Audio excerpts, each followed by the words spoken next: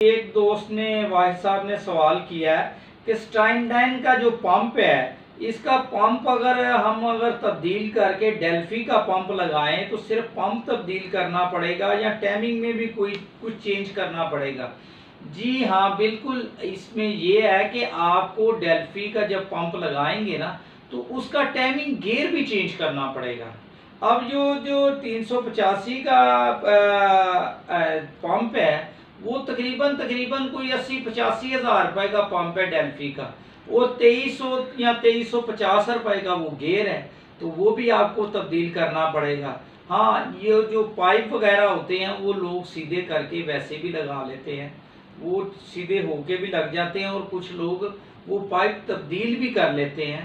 कि वो डेल्फी वाले भी लगा लेते हैं। लेकिन एक बात मैं आपको बता, बताऊँगा कि पैप आपने कभी भी कंपनी के अलावा दूसरा नहीं यूज़ करना।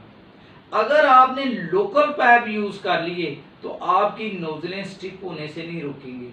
नोजलें फंसने से नहीं रुकेंगी। अब कुछ लोग कहेंगे, यार, पैपों का क्या मामला है नोजलों के फंसने के साथ? बिल्कुल है। जो पाइप जिन पाइपों का मटेरियल ठीक नहीं होता तो नोजल का जो प्रेशर है, वो 200 210 बार होता है। और इतने प्रेशर से जब तेल उसमें से गुजरता है तो जिन नोजलों के पैपों का मटेरियल सॉफ्ट होता है तो उनमें वो पैपों के साथ, डीजल गुजरने के साथ उस पाइप में लोहे के जर्रात भी उसके घिस के नोजल के अंदर जाते हैं।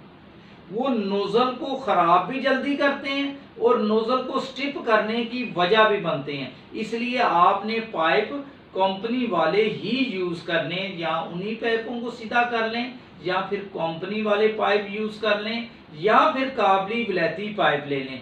लोकल पैप आपने नोजल पे कभी नहीं लगाना।